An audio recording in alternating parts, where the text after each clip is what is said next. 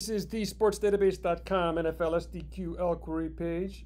This is your over under query of the week for week 16 of the 2020 season. We're going to look at the Seattle Seahawks during the regular season versus a divisional opponent. The line is within six points of Pick'em, greater than or equal to minus six, less than or equal to plus six.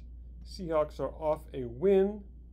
They defeated the Redskins last week. Previous third downs made divided by previous first downs greater than 0.265. So the Seahawks got more than 26.5% of their third downs, of their first downs, from third down. That is a high percentage for the Seahawks. Seattle gets a lot of first downs on first down and second down. So the Seahawks during the regular season versus a divisional opponent, the line is within six points of Pick'em.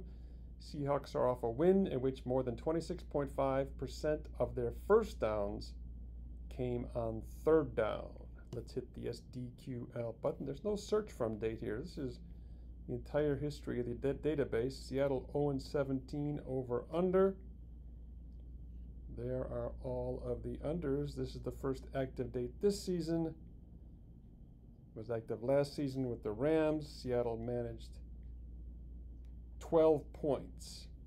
We can look at a ranking of third downs made divided by first downs. Which team gets the highest percentage of their first downs on third down with this SDQL? Team sum third downs made divided by team sum first downs at team and this season.